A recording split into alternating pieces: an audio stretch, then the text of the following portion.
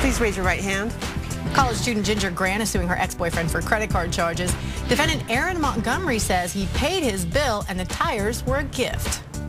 You're suing your ex-boyfriend, Ms. Grant, and it seems uh, that you are alleging that he owes you, what is it, $1,314 and odd pennies. Yes, Uh, you say he charged a sum on your credit card above and beyond what you authorized. And uh, he has also refused to pay a cell phone bill. Yes, Judge Brown. You met him at school, right? Yes, we met when I was attending North Carolina A&T in the dorms. And um, we went out for about three years. And it was a good relationship in the beginning, you know, good relationship, love each other. But, um, and while we were in the relationship, I allowed him to use my credit card because he needed some tires. His tires were bald, and at the time, he didn't have the lump sum for the tires. So I allowed him to use my credit card. Um, when I got the statement, there were numerous other charges for mainly restaurants. I saw restaurants on there mainly. And then and then there was the cell phone, which um, it was a when I got the phone, I had to open a two-year contract in order for me to get the um, the deal I did on the, that I got on the phone. And I got it in my name because he tried to get one in his name. He had to pay a $300 deductible. I had the good credit, so I got it. I didn't have to pay anything in the beginning.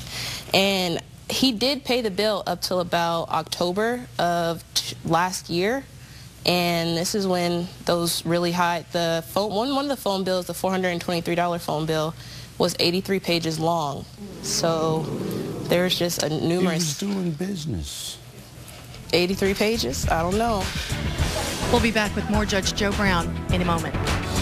See, I got what she authorized me to get, which was the tires. I gave her back her He card. gave back the card, but, Man, all them but Your charges Honor, I never her. used the card ever. I never Yeah, used the what? card ever. Closed captioning sponsored by We're back with Judge Joe Brown. The plaintiff in this case says she let her ex-boyfriend use her credit card to buy tires. She says she was surprised to discover he had helped himself to a lot more, maxing out her card. Let's take a look. Please continue. And um, as the relationship came to an end, we had our own little problems. Like we were arguing in the end of the relationship. We were arguing a lot. And it just got to be to the point where we couldn't really talk without arguing. And eventually it turned into him calling me all kinds of names. No, you was Oh. that's was. It doesn't matter what I did.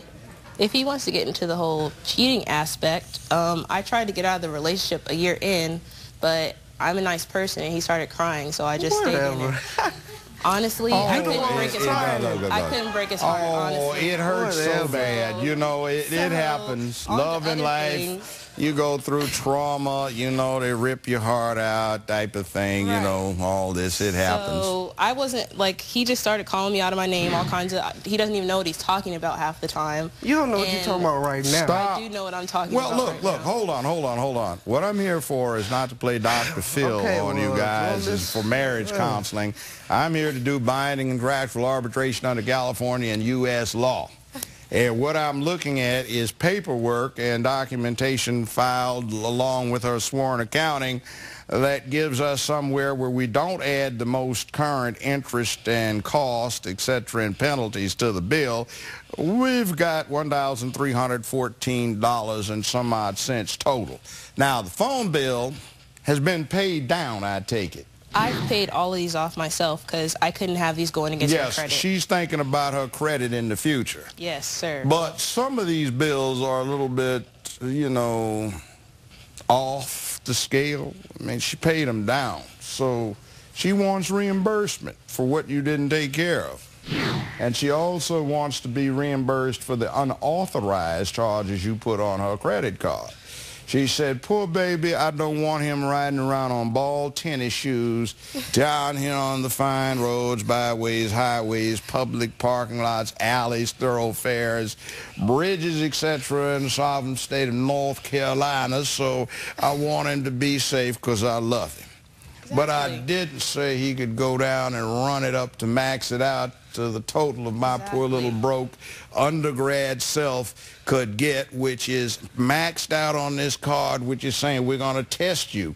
We give them out readily to college students, particularly young females, to see if you're credit worthy. So there was a limit of 500, and you shot it up to the limit. Okay. Exactly. Right. I had no intention. And you see this, I, I, it was I a got high APR, authorized me to get, and I gave her $150 in interest. card. What? See, I got what she authorized me to get, which was the tires. I gave her back her he card. gave me back the card, but, Man, all them but Your charges Honor, I never hers. used the card ever. I never Yeah, used the what? card ever. Now, it's pretty much down on paper. That's the standard business record billing invoice type demand for payment. So all of this whoop wop, no I didn't is easy enough to resolve. What does it say? Yes, sir. And, you know, reading it, it shows that the phone bill is about what she says it is, and there's a, a listing of what got charged, and it goes a little beyond tires. But who's to say that was me? I'm in That's what I'm school in. Greensboro. Those Man, tires were what? Hold purchased on, in hold on, May. I'm not even trying to hear you. I'm hold talking on, to him. hold on, hold on. She's on all fours when it comes to establishing the case. Judge Joe Brown makes his ruling after this. Bad boys, bad habits cost you money? Huh. Call 1-877-JOE'S-LAW or visit JudgeJoeBrown.com. Son, you got caught. This is your Got caught what? Yeah, you got caught out. This is your first love in life. You were in love. She did things for you. But you see, Yeah, but she's trying. doing- Listen to me. Learn wisdom. Man, don't ain't don't trying listen. hear you. Li- I listen, listen, hear listen, you, listen, I ain't trying to listen. hear you or you. Li- listen. Sometimes you do what you got to do. You're gonna have to pay the lady this. It's like she caught you. She kept the records, and it ain't there anymore. First love of life. Move on. It's like a student loan. You got to pay it back. 1314. And this courtroom is now in recess. Well, the defendant did a little foot stomping at the end there, telling the judge that he didn't want to hear the criticism, but the judge makes him take his medicine. He'll pay the plaintiff. We'll be right back. Back. The defendant tried to jump in during his ex-girlfriend's testimony, obviously still disturbed about the way things ended. The judge lets him know it doesn't really matter. He needs to take his licks and pay. For information on future cases or to contact this court, check out our website at judgejoebrown.com.